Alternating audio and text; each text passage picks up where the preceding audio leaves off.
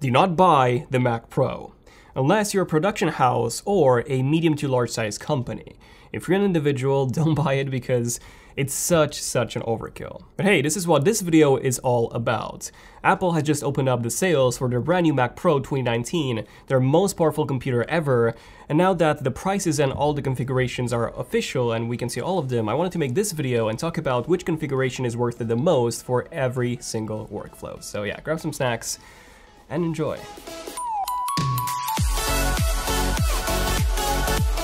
To keep your Mac running fast and secure, check out Intego's Premium Bundle X9 that includes a number of very useful tools for your Mac. Use the link below to get a 60% discount. Okay, so back in the mid 2000s, Apple used to sell this cheese grater Mac Pro, which was actually very well received. It was basically a PC that was running on macOS and it was fully upgradable and customizable, which was pretty amazing. And this was the Mac Pro that Apple was selling from 2006 to 2013, with updates almost every single year, and then in late 2013, Apple released the new Mac Pro, which was, you know, the trash can Mac Pro that was not that well received. I mean, yes, it was small and portable and extremely compact, and it also looked incredible. However, the thermal system wasn't great, the GPUs were proprietary, and uh, yeah, this meant that you couldn't really slot in any GPU that you wanted, so overall, it was pretty much a failure.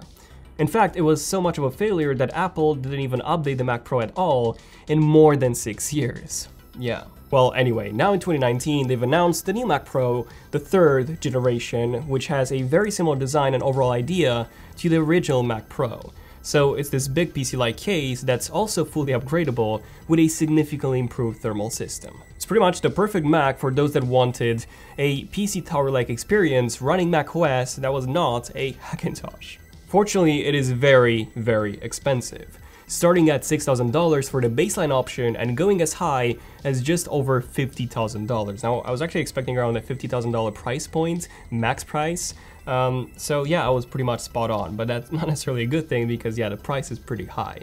So okay, which configuration is best suited for which workflow? Well, if you're a freelance developer, a freelance video producer, or a freelance game designer, someone that mostly works on its own, uh, or someone that has a very small team, and someone that needs a Mac Pro but doesn't want to break the bank, then in that case the best option is just getting the entry-level model and then upgrading it from there. This one comes with a 3.5 GHz 8-core Intel Xeon processor, 32 gigabytes of ECC memory, the Radeon Pro 580X with 8 gigabytes of GDDR5 memory, 256 gigabytes of flash storage, and those really, really unique silver and black keyboard and magic mouse that you can only buy with the Mac Pro. Now, this exact configuration will cost you $6,000 or 5,500 pounds in the UK, which is pretty nuts. But it turns out that this is actually just $1,000 more than the iMac Pro, which starts at $5,000. Now, the iMac Pro does offer a built-in 5K display, a way more powerful graphics and more storage up to 1 terabyte on, on the baseline, which is pretty nuts. So if you do not plan on upgrading your Mac Pro in any way, I would definitely just recommend buying the iMac Pro.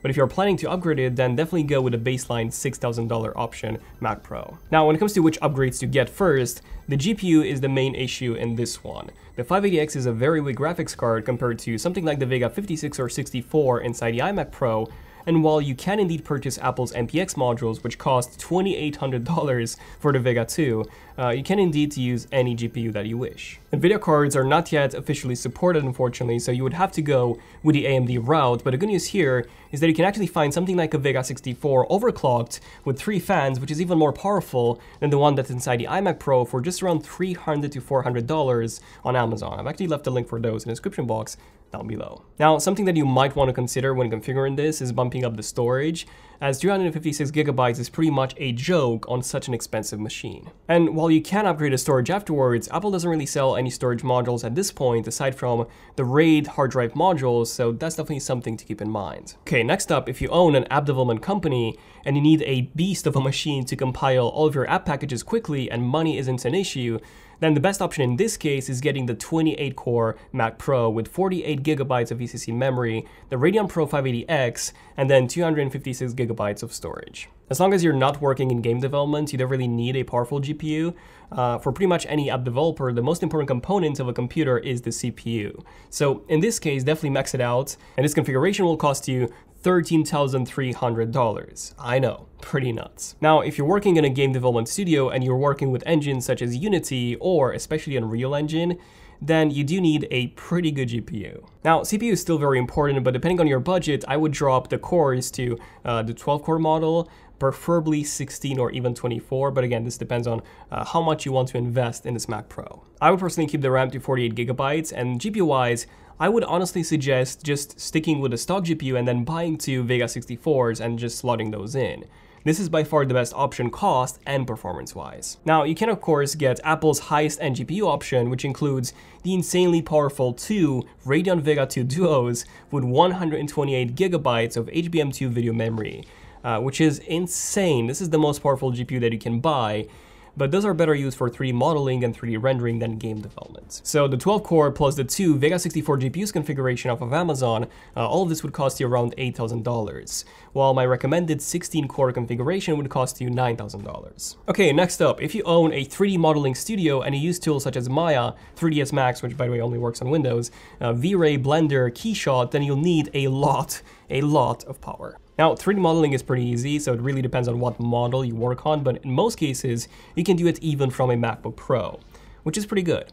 Now, the tricky part is the rendering, and here you'll need to be aware uh, if your renderer is CPU or GPU based. Now, most renderers are GPU based, however, some of them such as Keyshot are actually CPU based unless you use Keyshot 9, which finally supports GPU rendering. So in most cases, what you'll need here is a very powerful GPU. Now, some rendering engines do work better with NVIDIA cards, in which case I would strongly advise against buying a Mac Pro and just building a high-end PC instead. But if you know that your rendering works well with AMD cards, and you have the budget for it, then definitely get the baseline model, but with the highest end GPU option uh, if you have the budget for it again, because that's crazy expensive. So this will cost you overall $16,800. Pretty much the same thing when it comes to animation. GPU is definitely the most important component here, especially um, something with loads of video memory. So again, same configuration here for uh, animation. Now, if you're actually rendering using your CPU, then it gets a bit tricky here because you see, while the 28 core Mac Pro is very, very powerful, you're just far better just building a PC and buying an AMD Threadripper instead. A 2990WX, that's amazing. We do have that, by the way. Uh, so that's a 32 core processor with 64 threads. And of course, that you can even overclock this, which you cannot do uh, with the Mac Pro, by the way. So you can get some insane performance out of that processor and, you know, a PC with that uh, CPU uh, far, far better than what you can achieve with a Mac Pro at a significantly lower cost. Now, if you're into scientific work and you need something that can process large amounts of data very accurately, then buckle up because this configuration won't be cheap at all. For scientific work and data accuracy, you need two things the most, CPU and RAM. CPU-wise, definitely max it out if you have the budget for it. So yeah, in this case, definitely get the 28 core Intel Xeon W chip and again, if your budget allows for it, then definitely get the maxed out RAM option, so 1.5 terabytes of ECC memory. ECC memory is a special type of RAM, so ECC comes from error correcting code memory, uh, and it's very important to have when accuracy of data is crucial, so scientific or financial computing. You don't need to touch the GPU or even the storage, however you might want to add some wheels on this in case you want to move it from one lab to another, in which case this configuration will cost you $38,400. Ouch. Okay, so now what if you want to run the Mac Pro as a server? Well, this is again a pretty tricky one because it depends on the scale of your data center.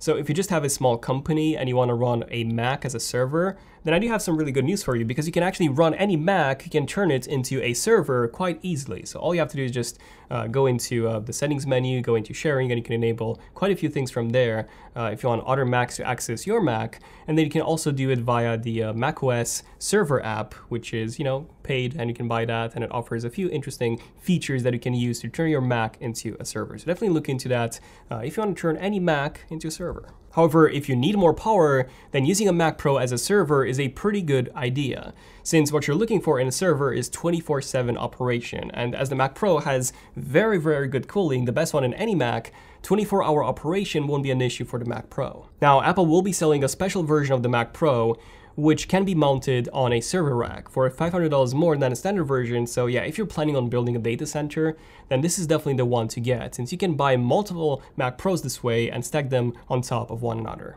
Now, in terms of what configuration to get, again, if money isn't an issue, which I assume is not if you're planning on building a data center, uh, then definitely get the 28 core CPU, as much RAM as possible, so 1.5 terabytes in this case.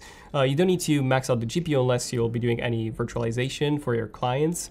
Uh, so you can actually keep the stock uh, 580X GPU. Now storage-wise, bump this to one terabyte, and then also get the Pegasus R4i 32 terabyte RAID MPX module, which is another $2,300, and you can actually get two of those for up to 64 terabytes of internal RAID storage, which is actually perfect for servers. So this configuration will cost you $38,800 for the Mac Pro, $500 for the Mac Pro rack mount, $4,600 for the Pegasus R4i modules, which is a total of $45,300. Uh, yeah.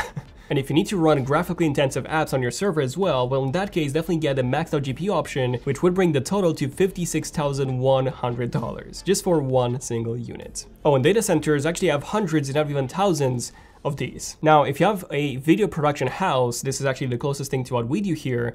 Uh, but again, I'm not talking about casual videos like, you know, we do, but rather full Hollywood production level shoots. Shots on Red Raw, 8K, yeah, things like that. And in this case, the 12-core Mac Pro is actually a very good option. You don't need more than that for video editing, uh, but you will need 48 gigabytes of RAM, as 32 is a bit on the low end. Uh, now, GPU-wise, it really does depend on the amount of effects that you apply to your footage. If you don't work with 8K footage and you just do 4K RAW, uh, then buying a Vega 64 or even two of these is a very good option. Otherwise, if your workflow is very intensive, then definitely go for the Radeon Pro Vega 2 Duo option. Uh, you can also get two Radeon Pro Vega 2 GPUs. However, I highly suggest just buying a Radeon Pro Vega 2 Duo instead because you do get two GPUs in the same MPX module, which gives you a spare PCIe slot to use for anything else that you wish. Now, production houses do work off of large storage servers via 10 gig Ethernet. Uh, the Mac Pro actually has two 10 gig Ethernet ports, by the way. Uh, so the 256 gigabytes flash is actually the best storage option here. Plus, the Mac Pro also has four extra uh, Thunderbolt 3 ports by default, and you can also add two more ports with each MPX module that you add. Now, there is a 4TB internal SSD option and even an 8TB, which we'll be releasing soon. However, for 8K raw workflows, that's just not enough storage for a single project. So yeah, in that case, I do recommend getting the Promise Pegasus R4i, which gives you 32 terabytes of internal RAID storage, uh, using that MPX module slot that you freed up by uh, getting the Radeon Pro Vega 2 Duo. Now, if you do work with ProRes and ProRes RAW, then definitely get the Apple Afterburner card for an extra $2,000 uh, which uses the slot number 5 in terms of PCIe slots and not the MPX module slots. And this brings the total cost to $14,900 for the Mac Pro, plus $2,300 for the 32TB MPX module, plus $2,000 for the Afterburner card, plus another $10,000 if you decide to go for two uh, Pro XDR displays, which I do highly recommend for video production, and you get a total of $29,200. And finally, if you own a music production studio, definitely get the 12-core Mac Pro option. CPU is the most important component um, in a Logic Pro 10, for example, or any music production. Uh, also get 48 gigabytes of RAM, also get a baseline 580X GPU because that's more than enough, and also the baseline storage, that's more than enough as well. Uh, also do get the wheels if you're planning on moving it to another studio, and in this case, the cost will be $7,700. So yeah, there you go. These are my suggested Mac Pro configurations for each workflow. The question is, am I getting a Mac Pro? And the answer is actually not. Now, I'm not getting one, it's just a complete overkill for our workflow, and the 2019 iMac is a much better choice. But if you want to see, I don't know, the baseline model featured in a video and, you know, benchmarks and the full review of that, then we might get it uh, in January. So definitely let me know about that if you want to see a video on the baseline model, maybe. Um, but yeah, this has been pretty much it for now. So thank you for watching. Let me know in the comments what do you guys think about the Mac Pro. I'm Daniel, and I'll see you guys in the next one. So okay, signing out. Cheers.